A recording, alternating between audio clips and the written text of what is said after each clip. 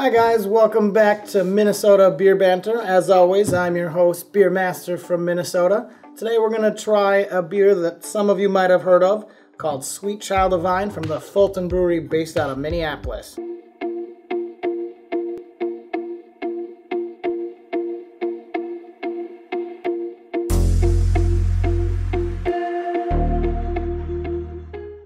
So many of you might have heard of this one.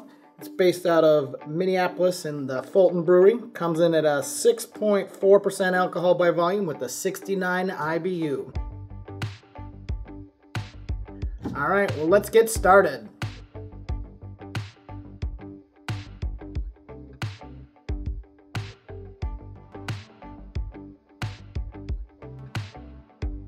All right, so after the pour, the first thing I notice is kind of that nice amber hue color that we have nice light with just a little bit of carbonation, very long lasting, kind of tight head on the top.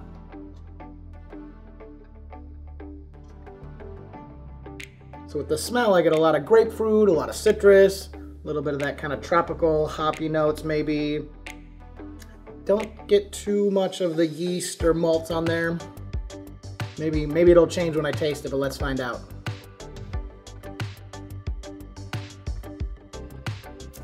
So it definitely comes in with just a little bit of bitterness on the back note. You don't get as much of the tropical notes that you kind of get on the on the nose. It's kind of a, a, nice standard IPA. I know it's very popular in the Minneapolis area. A lot of people have probably heard of it. I myself haven't been out to the Fulton Brewery yet, but I definitely want to go. Uh, so if you have a chance to check it out, I'd recommend going. Maybe I'll see you around when I visit. I think it's a nice kind of drinkable, drinkable IPA. I've had some that are so bitter and hoppy, it's you can't even taste anything else.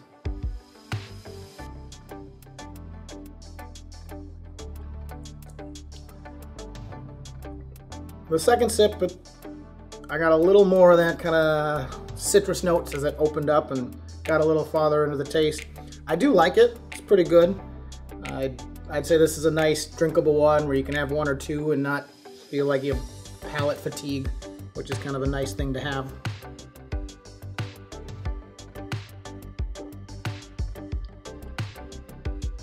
I love the, the tracing on the glass. It's kind of always fun for me to see how you can see that sort of residual head as it kind of goes down.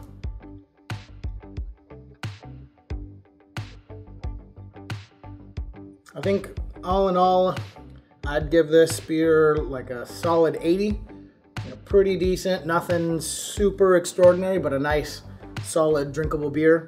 You definitely see why it's gained widespread popularity. Definitely kind of a beer for the masses.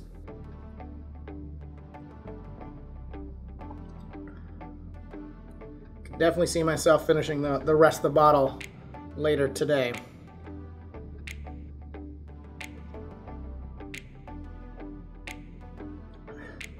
So, like I said, great beer. Definitely check it out. Tell me what you think on the comments. As always, grab a beer, cheers a friend, and click that like button.